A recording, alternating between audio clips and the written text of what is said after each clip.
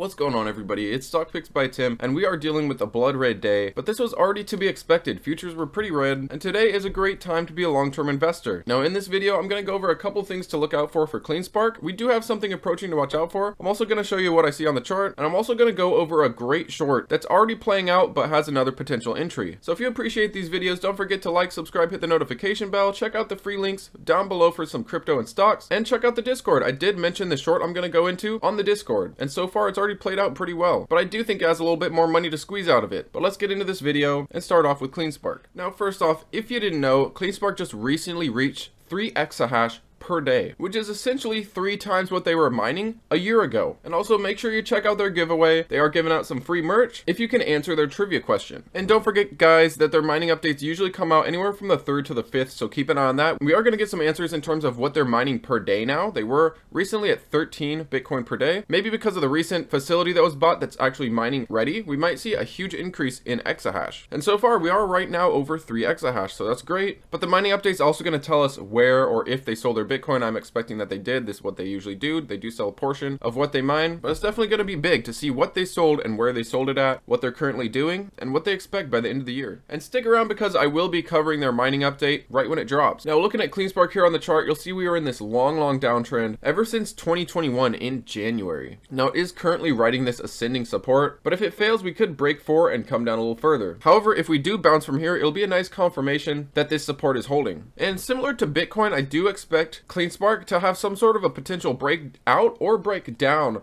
by mid-September. We're either going to break this ascending support or we're going to break this downtrend and in fact have our downtrend reversal. But I do think CleanSpark is great for a DCA right here. And I did put out a recent mining video and of that list of miners, CleanSpark was among the best. They have the best price to sales, a great price to book, some of the smallest debt compared to some of the other miners, but also compared to Mara and Riot and some others, they do have a smaller amount of Bitcoin on their balance sheet, but they have been using this to grow their exahash. So I do think that when we get into this next bull run, CleanSpark will be sitting very nice at a much higher exahash than they would be otherwise. And I think this will be beneficial to them in the end. Because otherwise, what would all that Bitcoin be doing while it's sitting on their balance sheet over the last six months or so even? You know, Bitcoin is pretty much the same on the chart as this. All that Bitcoin they'd be holding would be losing value just like all the other miners that are holding it. But of course, it probably will pay out in the end once Bitcoin does go on that rally. Now, some of the Bitcoin that these miners have could of course double up, triple up, quadruple up as we get into a bull run. And that might hurt CleanSpark just being that they don't have as much of a Bitcoin balance. But you have to consider, thanks to their growth by using the Bitcoin, selling the Bitcoin that they've mined,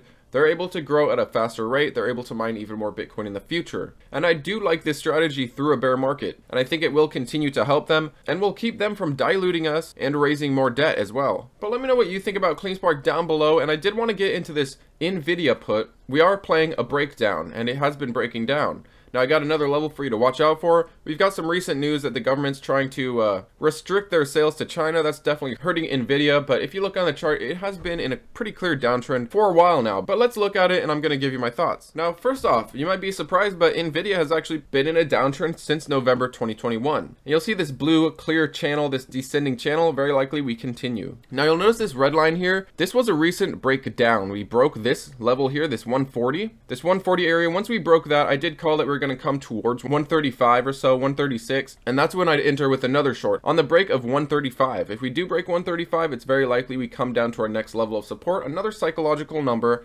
130. Now I personally would want to see this try to develop some support here before breaking so that the RSI can reset. It is a bit oversold because if we do continue breaking down, you're not going to get much meat left on the bone. It's already been dropping pretty hard today. I honestly do want to see it bounce and then go in tomorrow if we do have another red day. Of course, we could bounce find this as a resistance or just break out of it and try to hold it as support, you have to play with the chart. The chart can of course change and then you have to change your strategy. But I do think Nvidia is a great short right under 135 and it's very likely that if it breaks 135, you could definitely scalp it even down towards 133 132. But I do see 130 as the next level of support after breaking 135. For obvious reasons, it's just a psychological number, and we do have some points where we kind of bounce in that area and the 129, 130 area. So I do think that area will find some support here, but upon a break of 135, I think it would be an easy short, get in, get out, get some quick money. Same with this 140. And there's another great thing to think about, you know, if you are too bullish on the stock market, if you don't have any hedges, if you don't have any put positions, buy some puts on, on things you see great potential opportunities to break to the downside. You don't have to always just play the stock market in one direction on a bullish direction.